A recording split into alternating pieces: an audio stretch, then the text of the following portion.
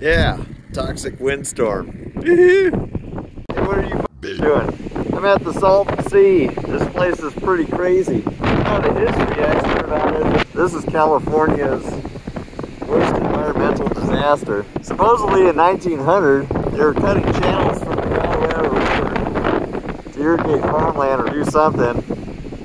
And one of the embankments overflowed and went into this basin so it made a, a sea about 60 miles wide, 50 miles long. And currently we're sitting about 250 feet below sea level. So it filled up, and then after World War II, kind of became a resort town around it. Like it was like one of the places to be. Fancy houses, docks, boats. But in the 70s, scientists were warning that something bad was going to happen because of so much runoff from the farms. And it made this uh, sea extremely saline and filled it with nitrates and all sorts of other chemicals. Well, of course, nobody listens to scientists today or even back then. so, eventually, I think it was like the 80s or 90s, there was a mass die-off of fish. There's like botulism, birds that ate the fish died, like 14,000 pelicans. And uh, it's been pretty lifeless here since. And they kind of shut off the water here and there. So it's uh, shrinking too. So all those people who build houses next to the sea with docks, you'll see it in my flying video. But uh, that sea's nowhere near them now. I bet those people are pissed off. It's crazy. It's neat to fly here, but it's also kind of sad. It's like I've never seen pollution on this scale. Pretty awful if human beings has a lot of destruction. It looks like a beach of sand, but it's not. It's like dusty mud. It's uh, if it gets wet, it turns into mud, but it's just straight up dust. But you can walk and run in it really well. So this is actually a great takeoff landing area. But if you look, you'll see on the ground, like a bunch of white things. They're fish bones. This thing's just littered with broken up fish bones. And here at the shoreline, I mean, there's just a, like, it's really freaky. This thing's totally lifeless. And so they put up a, they put up a bunch of hay bales to control the dust situation, to try to get some vegetation going. But as I read the history, California keeps trying to propose laws to clean this area up and then the money never gets it just sits around. And the town itself near here uh, it looks like a second world country. Like so many abandoned lots and things just falling apart. It's this is not an area you live very long if you lived here permanently that's for sure. But if you want to come visit this is uh, an awesome area. I mean you just get all that space to take off and run in. And even with a lot of people, it makes it so much easier. I'm parked up right against the landing area. I just walk out of launch and it's just great. It's a, it's a fun place to fly in. It's just kind of sad to see something so polluted in second world too. And it makes me feel weird too because not a lot of people can afford to do what I'm doing. Yeah. I, I only flew once at my last uh, flying endless foot drag. And here I've, I've been flying like four days in a row. So it's been pretty cool. Yeah, just like look at all that dust in the background that kicked up. Like I could taste the dust and it was hard to get out of my mouth. Every time I walked back in from outside today, I'd have to rinse my mouth off with mouthwash like I was sucking some bad. And that guy is gonna go canoeing across the Salton Sea This is crazy. Hey. All right. All right, what we got going on here? Ooh. Oh, hot mama. Oh my God.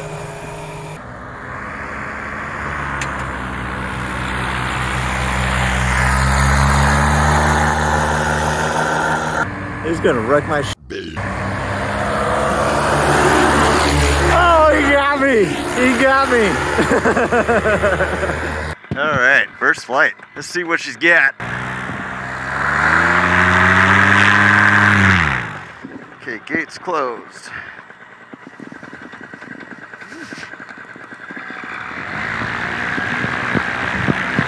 All right, my first flight, I almost wrecked myself. So, problem was I was tired and exhausted. Showed up to Salton Sea and I was so excited to be there. And I spent a day resting and not flying right away, but I didn't eat for like 36 hours and my friends were like, dude, Steve, you didn't eat. I was just too excited. It had been a month since my last flight, and so I attempted my first flight exhausted. And also, my lean back form went to crap. Obviously, I wasn't taking off very quick, and I ended up sitting. Oddly enough, not a single nick on my prop. I was pretty impressed. What I'm going to do after this is cut over to my friend's POV because first couple of flights we ended up having comms on and having comms and flying with your buddies is a lot of fun. I've never done that before. But when we had comms on, my helmet didn't record audio very well. So I figured go over to my buddy's POV, hang out in the skies that way. He caught me sitting in my seat from the air. So you'll see that too. Yeah, I picked a bad week to stop sniffing glue.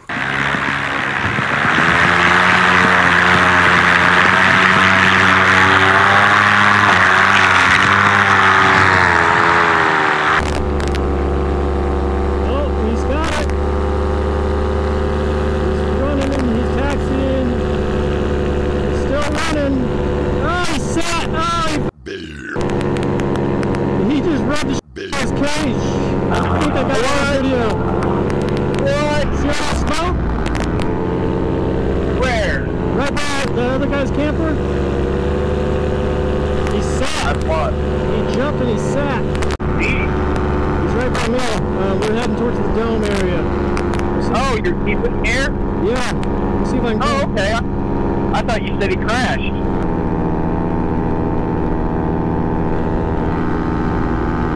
Boop, boop.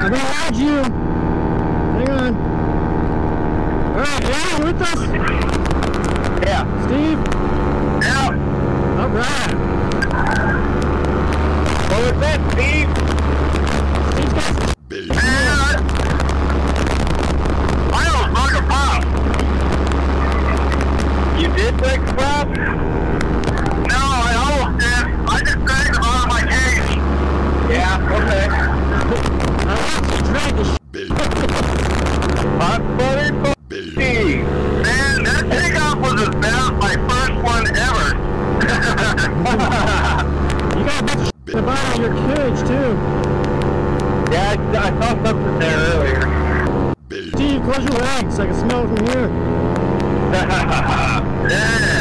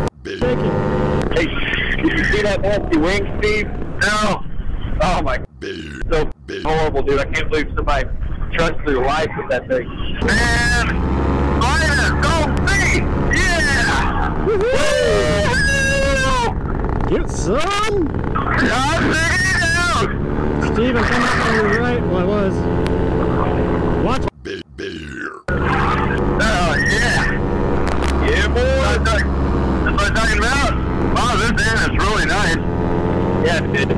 Where you going, Thunder? I'm trying to get you in shot so I can get some GoPro footage of you. I found uh, not legal match uh, here in the bottom of my cage.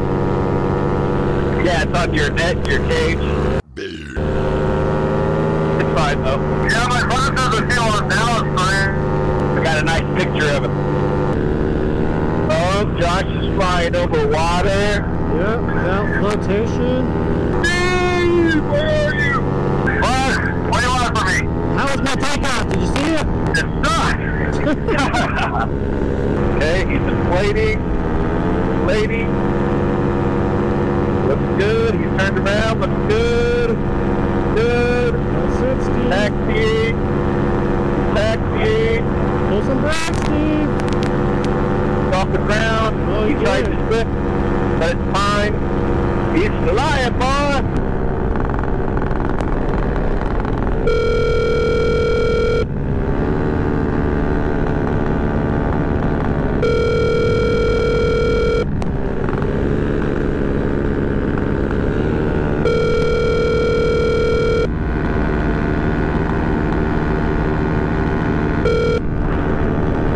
No, Oh, you did it. that is it. You didn't sit. Yeah. It's awesome. Oh, that was a, that was such an easy takeoff too. Now I reversed it. Yeah. Watch it. You're good. Yes, sir. Thermals or wake something. yeah, I just hit a turtle myself. I was like, whoa, I'm getting off my ride. Yeah, I hit a little. Oh man, this is fantastic. Oh, yeah. Oh, there's some dirt over here that needs a foot drag. Don't do it. Oh man, I'm glad I wear the shorts. I got that ball sag breeze going on. yeah, I'm headed back. I'm gonna stop for a little bit. Get those shorts on so you can get some of that ball sag breeze. Yeah. Oh, oh, oh whoa. Really just scared the shit out of me. I thought they were gonna fall to the ground. Oh, that, man, this is really nice. Yeah, It's not I bad. can dig it. There's Kyle.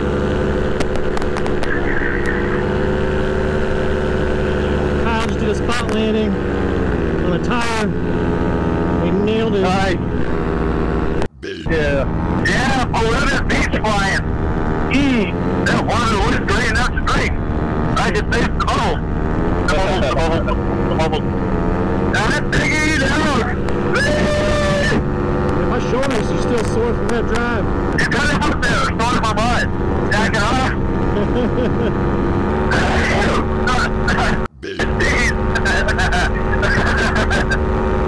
Dude just about freaking flew into his bus. oh man, I came back right in time. Holy sh! What? What happened? What? I am. I got like a few cups of gas. Oh, okay. You're scaring me. No, they going. You know that water. I'm trying to find you. Where'd you go? Oh, you're back. And I. You're an I and I. Yeah. Yeah.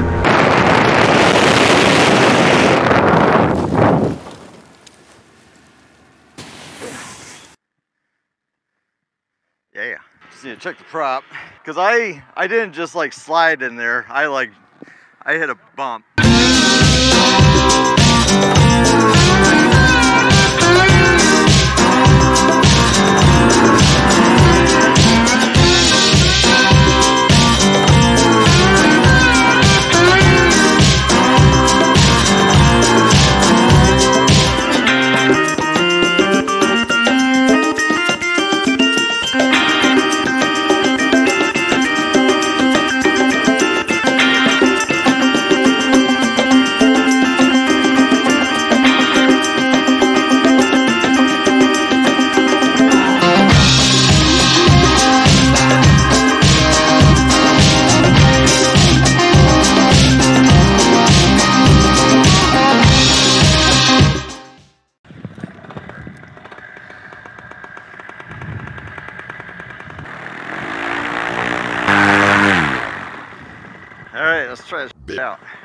My second takeoff, I redeemed myself. Did my first reverse launch since last April, which I kite all the time, so not really a big deal. Came down, stuck the landing. For the rest of the trip, my takeoffs were pretty decent. Landings, I was a bit on a struggle bus, but towards the end, I was getting it dialed back in. But I'm gonna save that for another video about struggling with takeoff form and landings and what I learned from it and how I was trying to correct things. Here you go. Let's check it out.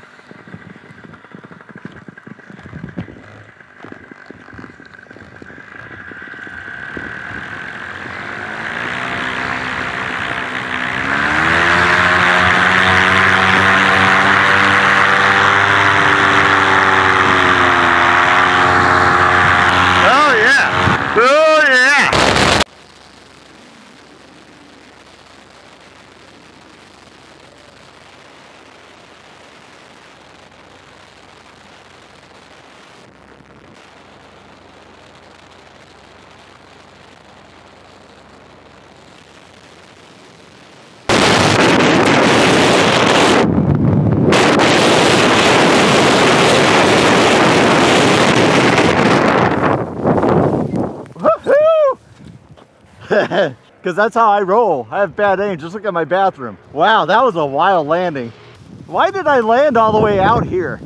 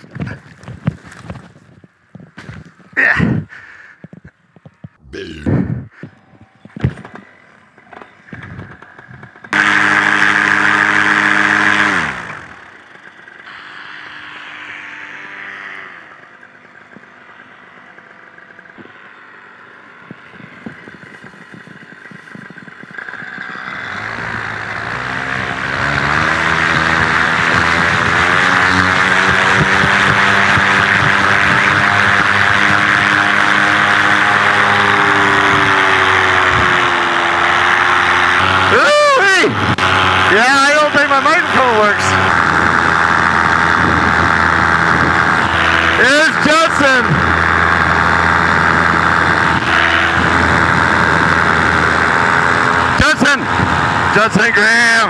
Oh, wow. Check that out. Holy sh. This is cool. Yeah.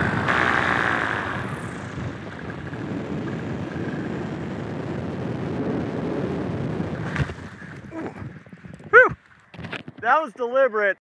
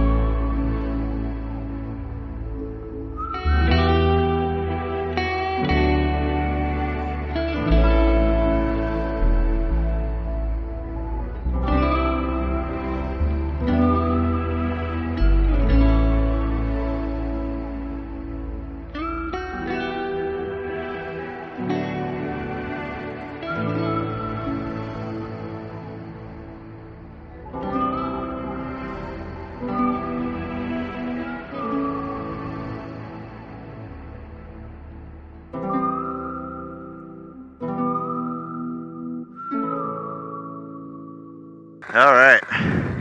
Let's see what she's got. In the middle of a desert surrounded by canyons, I gotta do a nil wind launch. Legs, chest, gates.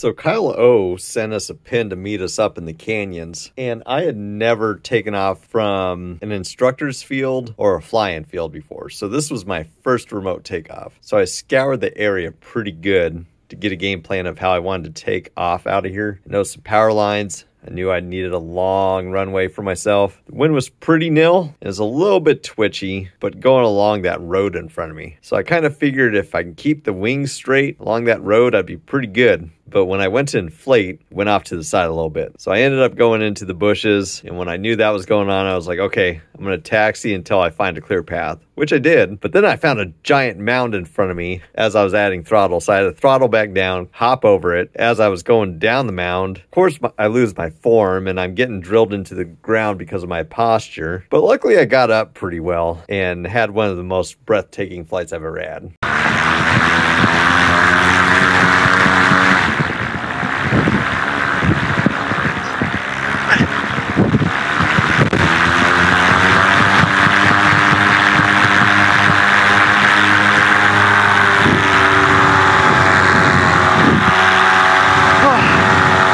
I knew the canyons were a place where I could really wreck myself in a motor out if I wasn't careful.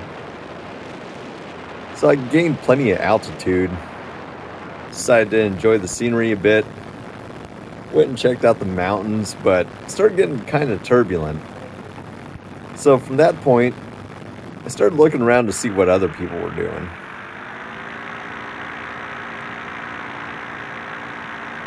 And sure enough, I found a actual like washout in the canyons where I was like, you know, I could run down that thing and if I had a motor out, I'd be fine. It was awesome. It just turned into like one of my most breathtaking flights like ever. I absolutely loved it. It was amazing. Yeah, canyon run. Oh, this is cool.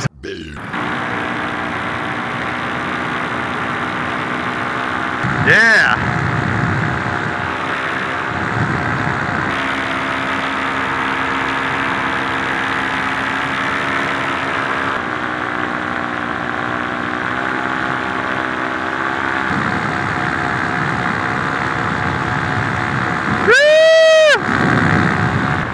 Nick, quit letting off smoke.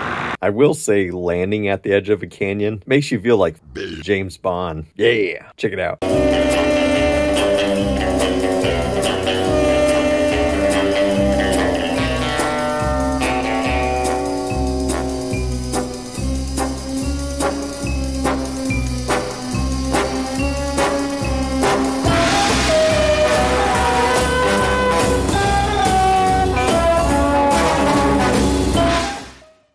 Right, enough of this. We got other places to be. Let's make like a tree and get the fuck out of here.